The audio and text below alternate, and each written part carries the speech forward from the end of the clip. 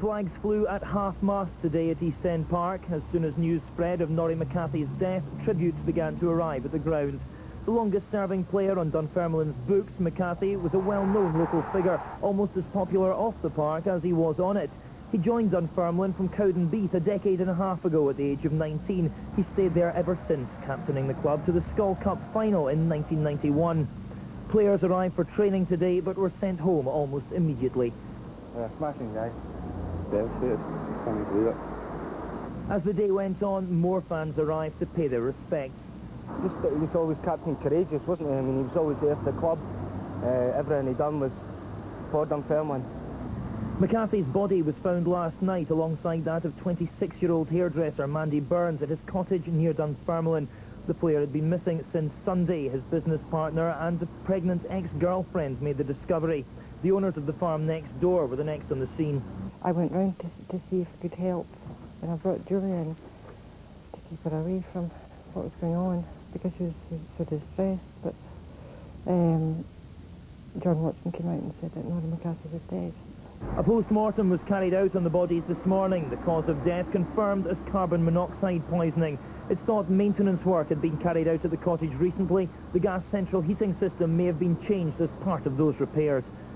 Well, I would imagine that that'll come to the fore when these investigations by the gas authorities have been carried out. But uh, every, every line will be looked at. Today at the family home, relatives of the dead girl were too distressed to talk, as were her colleagues at the beauty salon where she worked. This evening, the front of East End Park has been turned into a shrine for Norrie McCathie.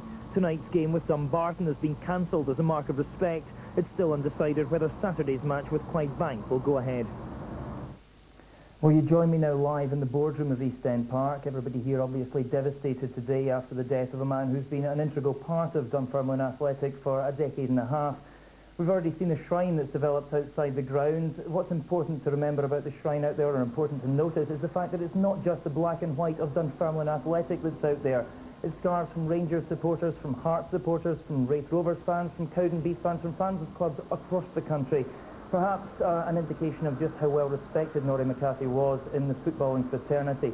I'm joined now by Dunfermline's manager, Bert Paton. Bert, he was your captain, he was your friend. What was so special about Norrie McCathie?